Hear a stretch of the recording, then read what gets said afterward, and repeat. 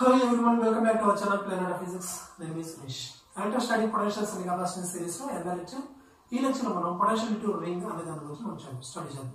So దీంట్లో మనం రెండు కేసెస్ సాల్వ్ చేస్తాం. ఒకటి ఈ రింగ్ యొక్క సెంటర్ నుంచి సమ డిస్టెన్స్ ఎక్స్ అనేటువంటి డిస్టెన్స్లో ఒక పాయింట్ తీసుకొని ఈ పాయింట్ దగ్గర మనం పొటెన్షియల్ ఎంతగా కనుక్కుందాం. అట్లనే ఈ రింగ్ ఫామ్లో ఉన్నటువంటి ఈ ఛార్జ్ యొక్క సెంటర్లో ఎంత పొటెన్షియల్ ఉంది అనేది మనం డిస్కస్ చేద్దాం.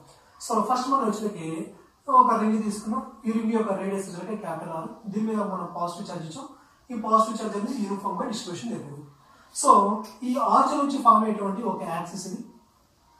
ఈ యాక్సిస్ మీద ఒక పాయింట్ తీసుకున్నాను. పి అనేటువంటి పాయింట్ ఈ పి పాయింట్ ఆరిజిన్ నుంచి సమ ఎక్స్ డిస్టెన్స్లో ఉంది. ఈ పాయింట్ పాయింట్ దగ్గర ఉన్నటువంటి పొటెన్షియల్ అనేది మనం కనుక్కున్నాం సో దీనికోసం మనం ఏం చేద్దామంటే రింగ్ యొక్క సర్ఫేస్ రింగ్ మీద మనం ఒక స్మాల్ ఎలిమెంట్ తీసుకున్నాం.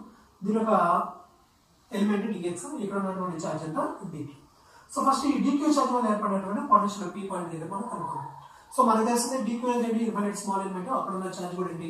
ఇన్ఫినిట్ స్మాల్ ఛార్జ్ కాబట్టి దాన్ని మనం పాయింట్ ఛార్జ్ మనం కన్సిడర్ చేసుకుంటాం. పాయింట్ ఛార్జ్ వల్ల ఏర్పడినటువంటి పొటెన్షియల్ అనేది మనం ఈ విధంగా మనం ప్రీవియస్ క్లాస్లో మనం స్టడీ చేయడం జరిగింది. So one by four by X అన్న క్యూ బై ఆర్ సో ఇక్కడ ఛార్జ్ డిక్యూ ఛార్జ్ కాబట్టి సేమ్ దాన్ని మనం అక్కడ ఇంప్లిమెంట్ చేస్తాం. సో ఈ డిక్యూ వల్ల ఏర్పడినటువంటి పొటెన్షియల్ పీ పాయింట్ దగ్గర ఎంత పొటెన్షియల్ ఉంటుంది అంటే డిబి పొటెన్షియల్ ఉంటుంది. So one by four by X not Q ఇక్కడ స్మాల్ చేంజ్ అనేది డిక్యూ ఛార్జ్ కాబట్టి డిక్యూ బై డిస్టెన్స్ ఎంత డిస్టెన్స్ ఈ డిఎక్స్ నుంచి బి పాయింట్ దగ్గర డిస్టెన్స్ ఈ డిస్టెన్స్ కావు సో ఆల్రెడీ మనం చేస్తే ఇది చూస్తుంటే మీకు ఒక రైట్ యాంగిల్ ట్రయాంగిల్ తెలుస్తుంది.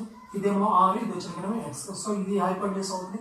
సో ఈ డిస్టెన్స్ మీకు ఆల్రెడీ తెలిసిపోతుంది root of R square plus X square so distance so ఈ డిక్యూ నుంచి ఈ పీ పాయింట్ ఎంత దూరం ఉంది? Root of R square plus X square so distance మనం ఇక్కడ రాస్తాం. Root of R square plus X square right in case కనుక ఈ ఎలిమెంట్ ఏమవుతుంది డిఎక్స్ ఇలా డిఎక్స్ ఎక్కడ ఏముంది ఇన్ఫినిట్ డిఎక్స్ ఉంది. ఆ డిఎక్స్ నుండి మనం యాడ్ చేసుకుని అనుకో ఇది ఈ రాడ్ యొక్క సర్ఫేస్ యొక్క ఉన్నటువంటి ఈ వైర్ యొక్క టోటల్ ఎంత అనేది వస్తుంది. సో ఈ టోటల్ ఎంత మీద ఉన్నటువంటి ఛార్జ్ ఎంత క్యూ ఛార్జ్ ఇచ్చాం సో ఈ మొత్తం కూడా మనం ఇంటిగ్రేషన్ చేసుకుని వచ్చామంటే డివి అన్ని యాడ్ చేసుకుని వచ్చామంటే టోటల్ పొటెన్షియల్ వస్తుంది. సో ఇదంతా ఏంటి? డీవీ అనేది ఏంటి? స్కేలార్ క్వాంటిటీ కాబట్టి దీన్ని మనం సింపుల్ విధానం మనం యాడ్ చేసుకుని వెళ్ళిపోతాం. సో ఇక్కడ వచ్చిన ప్రతి డీక్యూ వల్ల ఏర్పడినటువంటి పొటెన్షియల్ అనేది కూడా మనం యాడ్ చేసుకుంటాం సార్ యాడ్ చేసినప్పుడు ఏమవుతుంది? ఇక్కడ మనకి టోటల్ ఛార్జ్ అనేది క్యూ అవుతుంది. సో డిస్టెన్స్ ఏమవుతుంది? ప్రతి ఎలిమెంట్ నుంచి ఈ ఎలిమెంట్ నుంచి ఎంత డిస్టెన్స్ ఉందో ఈ ఎలిమెంట్ నుంచి సేమ్ అదే డిస్టెన్స్ ఉంది. ఇక్కడ ఎలిమెంట్ నుంచి అదే డిస్టెన్స్ ఉంది. ఇక్కడ ఎలిమెంట్ నుంచి సేమ్ అదే డిస్టెన్స్లో ఉంది. సో కాబట్టి ఈ డిస్టెన్స్లో ఎలాంటి వేరియేషన్ లేదు. వన్ బై ఫోర్ పైప్స్ అంటే నేను. నైన్ ఇంటూ టెన్ పవర్ నేను. సో ఇక్కడ మనకి యాడ్ అవుతుందా లేదు అంటే ఛార్జ్ అవుతుంది సో టోటల్ ఛార్జ్ అవుతుంది. ఇక్కడ మనకి ఇంటిగ్రేషన్ చేస్తే టోటల్ ఛార్జ్ అవుతుంది. క్యూ ఛార్జ్ అవుతుంది. సో మనం ఎంత ఛార్జ్ ఇచ్చామో సేమ్ అదే ఛార్జ్ అనేది వస్తుంది. So total position V equal అవుతుంది అంటే one by four pi X అనమాట DQ by so total charge వచ్చేస్తుంది కదా క్యూ ఛార్జ్ బై ఏమవుతుంది? Root of R square plus X square అనేది అవుతుంది. ఓకేనా ఇది ఎక్కడ మనకి ఆర్జన్ నుంచి సమ ఎక్స్ డిస్టెన్స్లో ఉన్నటువంటి ఒక పాయింట్ ఈ లైన్ ఏంటి? ఆర్జన్ నుంచి ట్రావెల్ అవుతున్నటువంటి ఒక యాక్సిస్ అన్నమాట. ఇన్ కేసు కనుక మీరు సెంటర్ దగ్గర మీరు మెజర్ చేయాలి అనుకున్నట్లయితే మీరు సెంటర్ ఆర్జన్ ఈ సర్ఫేస్ షేప్ యొక్క సెంటర్ దగ్గర మీరు మెజర్ చేయాలి అనుకున్నట్లయితే అప్పుడు ఈ ఎక్స్ ఏమవుతుంది జీరో అయిపోతుంది. సో ఇక్కడ ఉన్నటువంటి ఎక్స్ప్రెస్ మీరు జరిగి ఈ four potential at potential at centre so potential at centre అన్నప్పుడు ఏమవుతుందంటే ఎక్స్ ఈక్వల్ టు జీరో అవుతుంది. దీంట్లో ఎక్స్ప్రెస్ జీరో పెట్టండి. అప్పుడు వి ఈక్వల్ టు అవుతుంది one by four by X one not అవుతుంది. So total charge Q by root of R square plus X square X plus ఎంత పెట్టాం మనం? జీరో పెట్టాం మనం. సో ఎక్స్ ప్లస్ జీరో పెడితే జీరో స్క్వేర్ అవుతుంది. So R square plus zero అంటే R square so square root మనం cancel చేస్తాం total potential V at centre of the ring వచ్చిన ఏమవుతుంది? One by four by epsilon not total charge by radius R ఇది potential centre of the okay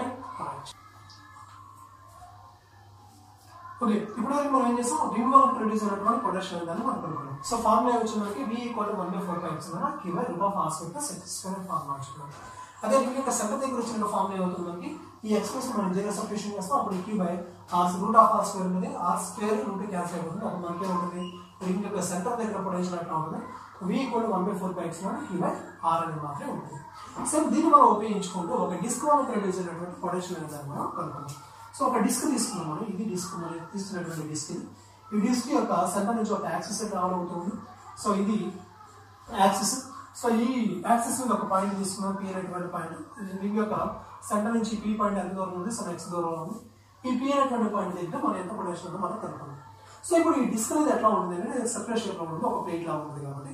దీన్ని మనం ఏం చేద్దాం? ఈ డెఫినెట్ స్మాల్ రింగ్స్ మనం డివైడ్ చేయాలి దీంట్లో ఒక రింగ్ తీసుకుందాం మనం. దీంట్లో ఒక రింగ్ తీసుకుందాం. ఇది మనం తీసుకున్నటువంటి రింగ్ ఈ రింగ్ యొక్క రేడియస్ వచ్చినాక వై అనుకోండి. ఈ రింగ్ యొక్క రేడియస్ వచ్చినాక వై అనుకోండి. ఈ రింగ్ యొక్క థిక్నెస్ వచ్చినాక డివై అనుకోండి. ఈ రింగ్ యొక్క థిక్నెస్ వచ్చినాక డివై అనుకోండి. ఇది రింగ్ యొక్క థిక్నెస్ ఇది రింగ్ యొక్క థిక్నెస్ దీనికి ఇచ్చినటువంటి ఛార్జ్ ఎంత? దీని మీద ఉన్నటువంటి ఛార్జ్ ఎంత అనుకుంటారు? డిక్యూ అనుకోండి. దీని యొక్క థిక్నెస్ ఎంత? డివై అనుకోండి. ఇది రింగ్ యొక్క థిక్నెస్ ఓకే దీని యొక్క రేడియస్ ఎంత?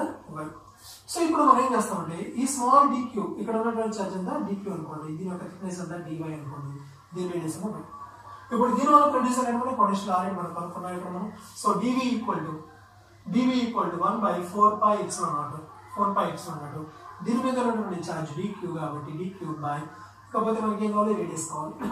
డిస్టెన్స్ కావాలి. సో డిస్టెన్స్ వచ్చినప్పుడు మనకి ఏమవుతుంది? Y